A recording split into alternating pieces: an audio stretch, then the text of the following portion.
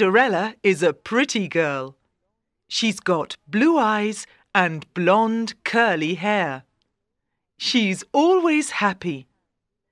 She likes singing and playing with her pet cat and the mice in the kitchen. She lives in a big house with her two sisters.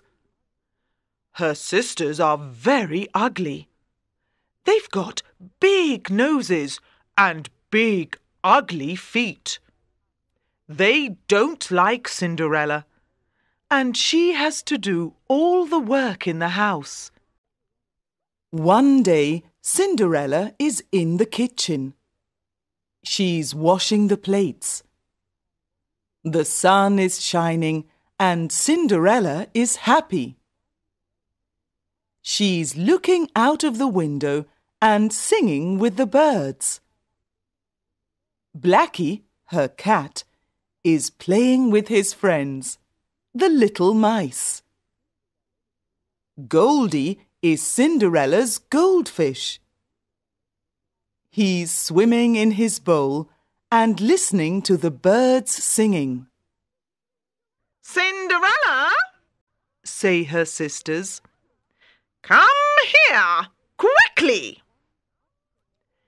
Cinderella runs upstairs into the living room. Here I am, she says. Look at this.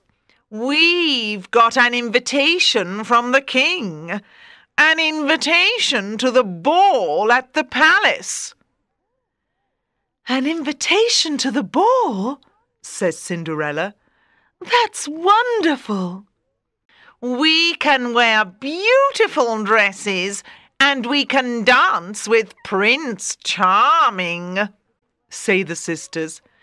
Can I come to the ball? says Cinderella. No, you can't come to the ball. You haven't got a dress. On the day of the ball, Cinderella is very busy. The ugly sisters want Cinderella to do everything. Don't cry, Cinderella, says Blackie. I want to go to the ball, says Cinderella. You can go to the ball, says a beautiful woman. Who are you? says Cinderella. I'm your fairy godmother, says the beautiful woman. Cinderella, go into the garden and find a nice big pumpkin. Come here, Blackie. Let's put Goldie here on the floor and, oh yes, six little white mice. Perfect, says the fairy godmother. The fairy godmother waves her magic wand. The pumpkin is now a beautiful coach. Goldie is now a footman. Blackie is now a coachman. And the six white mice are now six beautiful white horses. The fairy godmother waves her wand again. Cinderella's old grey dress is now a wonderful new dress, and on her feet there are pretty glass shoes.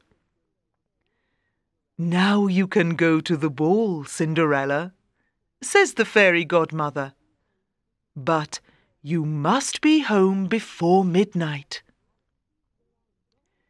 At the palace there are a lot of people.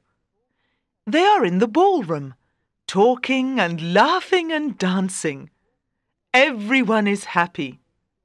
The king and queen are enjoying the ball. Prince Charming likes Cinderella, and they dance and dance and dance all evening. Cinderella looks at the clock. It's midnight. I must go, she says. Cinderella runs out of the ballroom and down the steps. Prince Charming runs out of the ballroom.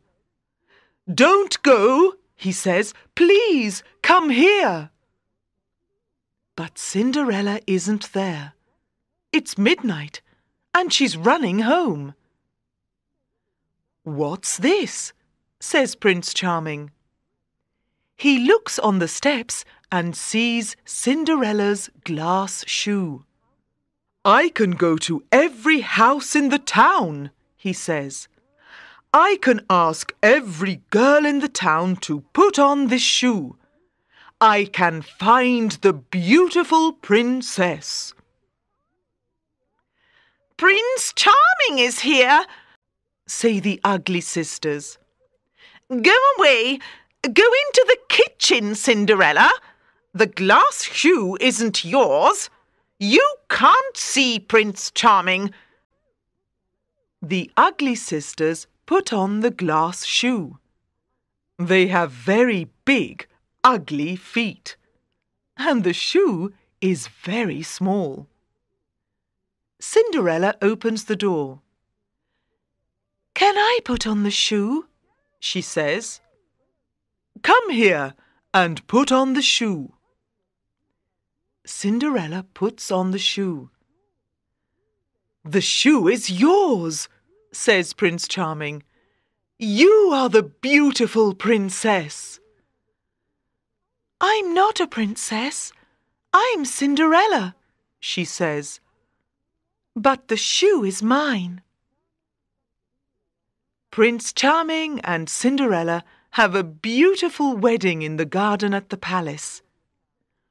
All the people from the town come to the wedding.